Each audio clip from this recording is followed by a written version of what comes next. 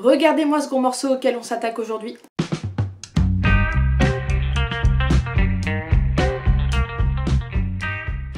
Salut à tous Comme vous le savez sûrement, le mois d'octobre sur ma chaîne, ça a été un mois en verre libre, ce qui signifie que je n'ai pas suivi la vague habituelle de Halloween. Néanmoins, je suis consciente que ce genre de lecture, bah ça a manqué à certains, alors aujourd'hui, je vais me rattraper. Rappelez-vous cet été, je vous avais dit que je partais avec des tonnes de livres dans ma valise. Des livres très différents les uns des autres. Vous voyez, une personne normale, normalement, en été, quand elle lit un livre, c'est souvent un thriller ou une petite romance toute douce.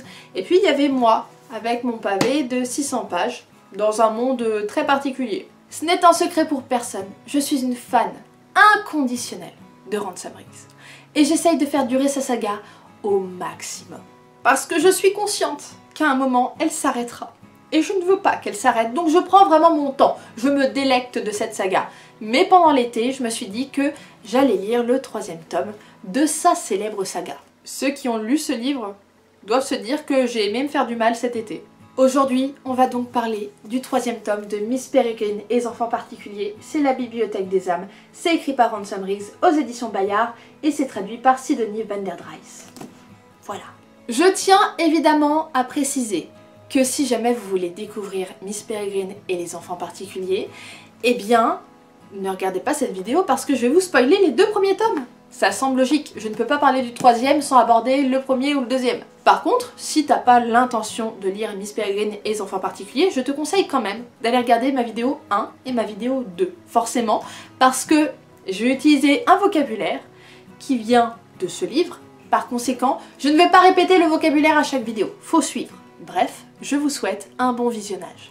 Nous sommes dans Londres actuel. Emma et Jacob viennent de voir leurs amis se faire kidnapper par des estres bonne ambiance. Grâce au flair aiguisé de Addison, qui est un chien particulier qui a le don de parler, eh bien, ils arrivent à retrouver la trace des enfants qui ont disparu. C'est au bord de la Tamise qu'ils font la connaissance de Sharon, un géant bourru qui leur promet, contre une petite pièce, de leur faire traverser la rivière. C'est ainsi que nos héros se retrouvent dans le tristement célèbre Harpon du Diable. C'est une boucle temporelle absolument effroyable et dégueulasse qui accueille les pires êtres du monde particulier. Un plaisir. Là-bas, il n'y a pas de règles, les pirates, les malfrats, c'est eux qui font la loi. Aucun doute pour Emma et Jacob, leurs amis, ils sont là, ils sont dans une des forteresses de l'Arpent du Diable et ils comptent bien aller les délivrer au péril de leur vie, bien évidemment. Sinon, c'est pas drôle. Allez, parlons peu, parlons bien, on s'attaque à cette couverture. Pour toutes les personnes qui me suivent, vous savez que je ne suis pas une grande fan des photos en couverture. Vraiment, j'ai un problème avec ça. Mais là, c'est toujours l'exception, c'est Ransom Riggs. C'est ma seule exception à ma règle de les photos c'est moche en couverture. Parce que, je suis désolée, mais ce genre de photos, moi, Peregrine sans photo, c'est comme une crêpe au chocolat sans chocolat, ça n'a aucun intérêt. C'est fade. Ce que j'aime avec les livres de Ransom Riggs, et en particulier ce tome, c'est que ça colle parfaitement avec l'histoire qu'il y a à l'intérieur de ce livre. Quand on regarde cette image, on sait directement qu'on va sur un univers sombre, angoissant, et à la fois, il y a une part de fantastique quand même. J'aime beaucoup ce style ancien qui fait un peu grimoire, et regardez les photos à l'arrière elles sont d'un glauque. Vraiment, c'est ça le talent de Ransom Riggs, te mettre mal à l'aise avec quelques photos. Ce style ancien, ce noir et blanc, et le fait de savoir que cette photo existe réellement, qu'elle a peut-être subi un petit montage pour coller au livre, je trouve que c'est un effort qui est intéressant à explorer parce que ça fait parfaitement le lien entre réalité et fiction, et c'est le principe du fantastique. Je ne le répéterai jamais assez, mais cette saga est un bijou en termes de construction. Il n'y a qu'à regarder l'intérieur, enfin, l'intérieur c'est beau, c'est... Oh, regardez, ça c'est les chapitres, ok Vous voyez, il y a des photos partout, voilà. Il y a aussi, au début, ça c'est un plaisir, le lexique, pour savoir où on en est, qui sont qui, hein. Je rêve de pouvoir demander un jour à Ransom Riggs, mais comment est-ce que vous faites pour intégrer vos photos à l'histoire? Le visuel est une pièce maîtresse de cet ouvrage, c'est-à-dire que les photos permettent de construire des personnages et un univers, et le fait de savoir que ces photos sont vraies, elles existent, des fois elles ont subi un peu de montage, mais c'est impressionnant On est sur une admiration non dissimulée. Je reste soufflée par la création, l'imagination, tout le travail autour de ce livre, c'est juste dingue. Je pense que ça ne va étonner personne si je dis que ce livre est un coup de cœur. Évidemment, les deux premiers l'ont été, celui-ci l'est aussi. Par contre, il faut que je le dise quand même. J'avoue que j'ai commencé ce livre, totalement innocemment, hein, voilà. Je ne savais pas que c'était la fin de quelque chose. Je vous explique. C'est avec stupéfaction que quand j'ai terminé ce livre, je me suis dit, eh ben en fait c'est une super fin de saga. Vraiment, c'est bouclé quoi, c'est... Pourquoi il y a trois autres tomes derrière? Vraiment, pour moi, j'étais à la fin de la saga. Enfin, je ne comprenais pas pourquoi il y avait trois autres tomes derrière. C'était une fin parfaite. Qu'est-ce que... quoi? La réponse est simple. Après avoir cherché sur internet, j'ai tout simplement appris que j'avais terminé la partie 1 de la saga. Et que les trois autres tomes sont la partie 2. J'avais jamais vu ça. Des parties comme ça, au milieu des sagas. Je n'étais pas au courant. Vraiment, je ne savais pas. Du coup, moi, je, je lis le livre, je le termine et je me dis... Il y a un truc qui cloche et il faut prévenir quand on fait des trucs comme ça. Du coup, j'avoue que je suis un petit peu curieuse, que je commence déjà à faire mes spéculations sur la suite, parce que je me dis que du coup, là, les trois tomes, c'était Jacob qui découvrait le monde des particuliers avec les boucles temporelles, les grands méchants, etc. Et je m'attends à ce que ce soit l'inverse pour les trois autres tomes, que ce soit les particuliers qui découvrent le monde actuel. Et je crois qu'en même temps, c'est pas possible.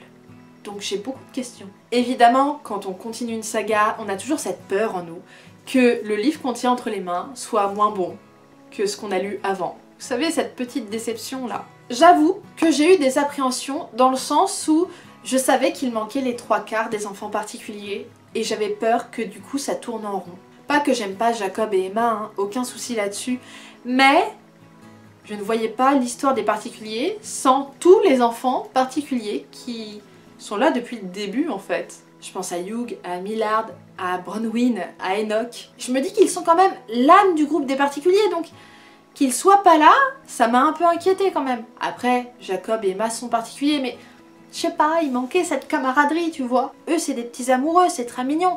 Mais les potes, ils sont où? Ils sont cette joie de vivre, ils sont cette légèreté. Et c'est là que Ransom Riggs a été plus intelligent que je ne l'ai été. Ce tome est encore plus sombre que le deuxième qui était plus sombre que le premier. En fait, en retirant ces personnages, il retire toute joie du livre. Il a créé un monde ô combien angoissant, pressant, un monde de crainte et de méfiance, et très peu de joie vraiment dans ce tome, juste de l'inquiétude. C'est en enlevant finalement les personnages dits innocents de ce livre que bah, il arrive à créer une pression sur le lecteur.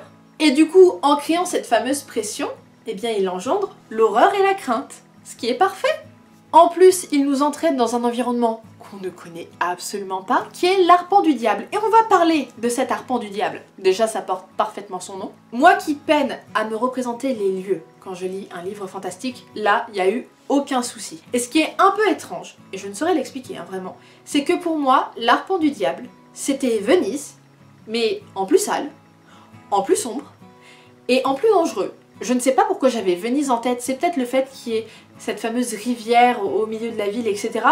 Mais j'avais Venise. Mais vraiment un, Venise qui a été détérioré, euh, qui a été détruit, euh, les forces du mal ont pris le contrôle, enfin un, Venise pas sympa quoi. La faune locale contribue à créer une ambiance pesante, inquiétante et morbide.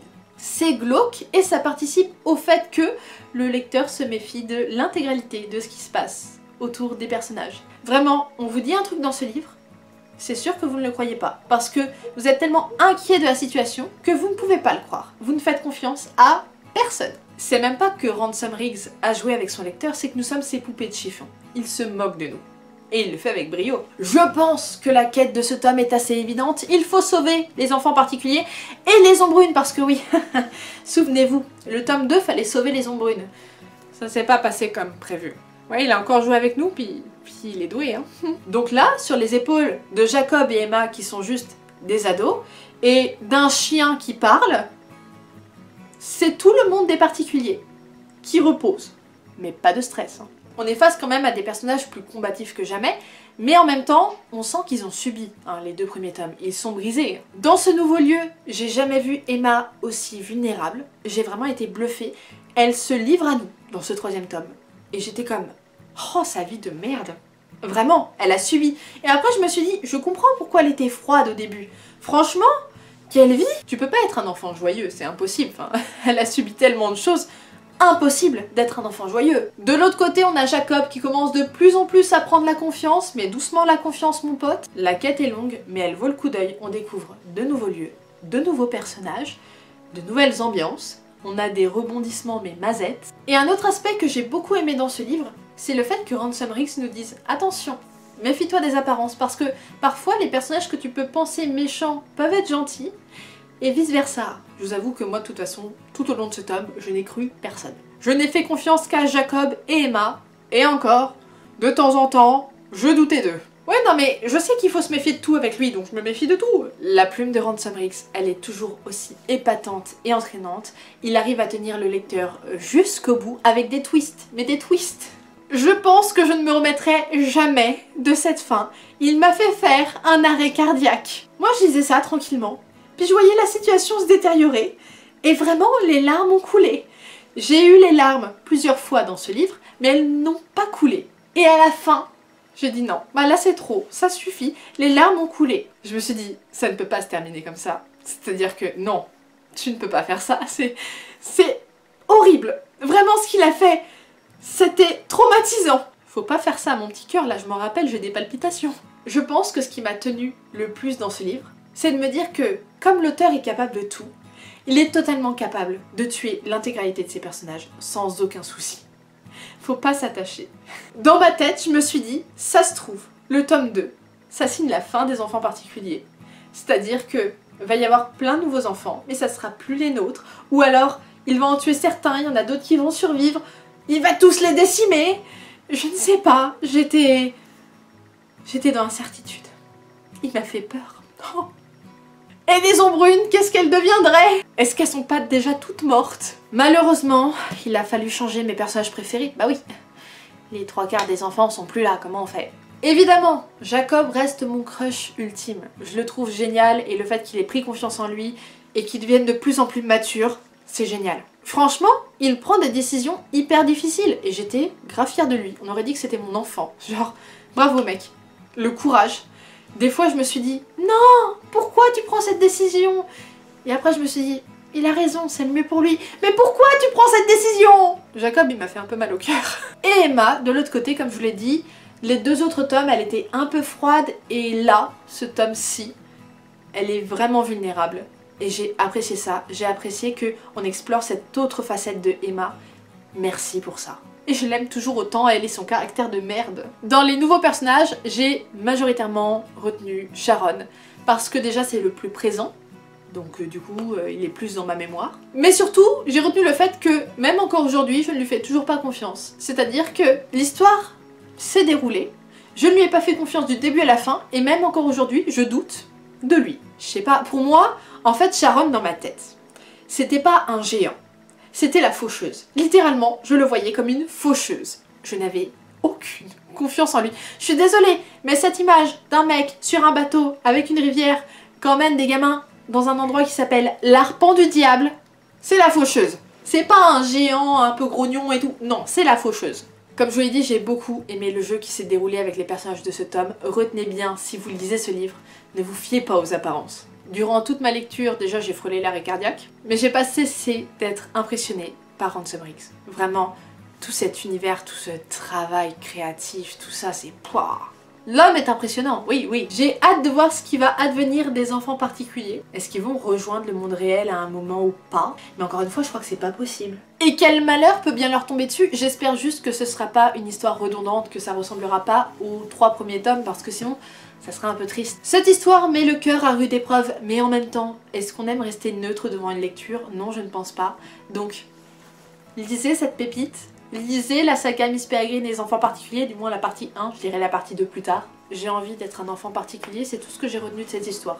En tout cas, merci d'avoir regardé cette vidéo. Si elle t'a plu, n'hésite pas à la liker, à la commenter, à la partager à tes amis, à t'abonner, ça fait toujours plaisir. Et je te dis à bientôt dans une prochaine vidéo.